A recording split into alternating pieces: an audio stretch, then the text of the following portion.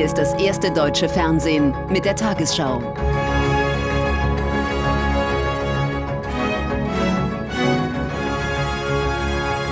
Heute im Studio Jens Riewer. Guten Tag, meine Damen und Herren, ich begrüße Sie zur Tagesschau.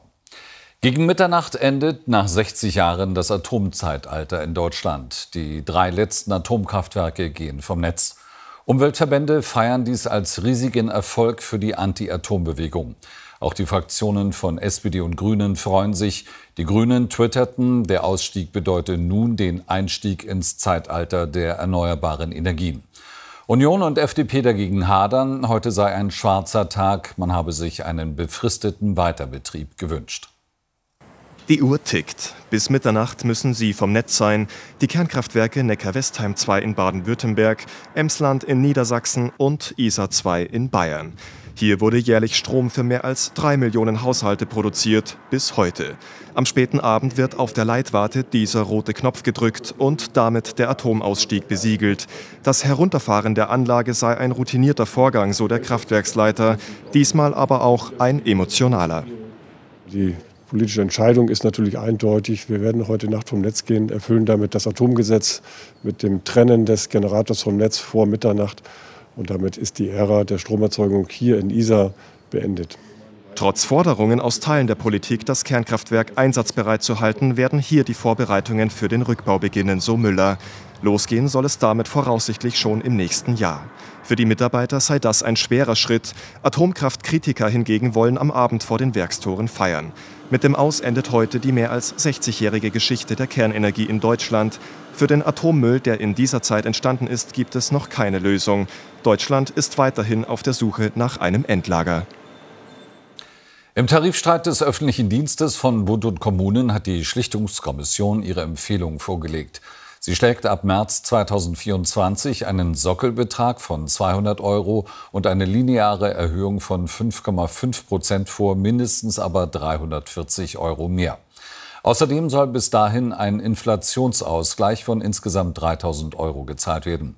Die Empfehlung ist Grundlage für neue Verhandlungen zwischen Gewerkschaften und Arbeitgebern ab kommenden Samstag.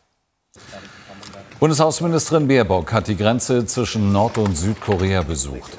In der sogenannten demilitarisierten Zone informierte sie sich über das aktuelle Verhältnis beider Länder, die sich offiziell noch immer im Krieg befinden. Im Anschluss daran traf Baerbock in Südkoreas Hauptstadt Seoul ihren Amtskollegen Park Jin zu politischen Gesprächen. Bei einem Wahlkampftermin von Japans Premierminister Kishida in der Hafenstadt Saikazaki hat es eine Explosion gegeben. Kishida wurde in Sicherheit gebracht, nachdem der Sprengsatz detonierte.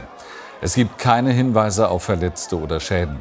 Eine Person wurde festgenommen. Kishida war in die Gegend gereist, um einen Kandidaten seiner liberaldemokratischen Partei bei den Kommunalwahlen zu unterstützen.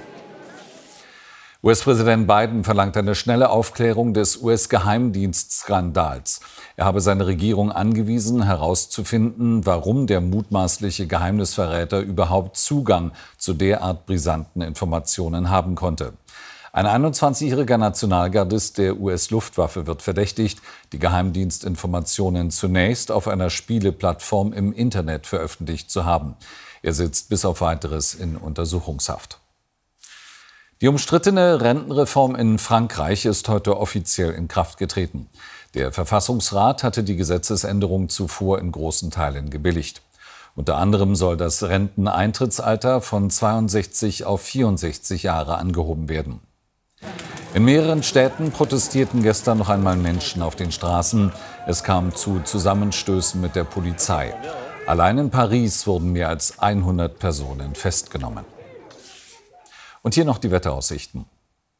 Vielfach bedeckt mit Regen, der besonders vom Südosten bis in die Mitte länger anhält. Freundlicher zunächst im Westen, später an der Ostsee und in Sachsen. 5 bis 16 Grad. Die Tagesschau meldet sich wieder um 15.55 Uhr. Ich wünsche Ihnen einen schönen Tag.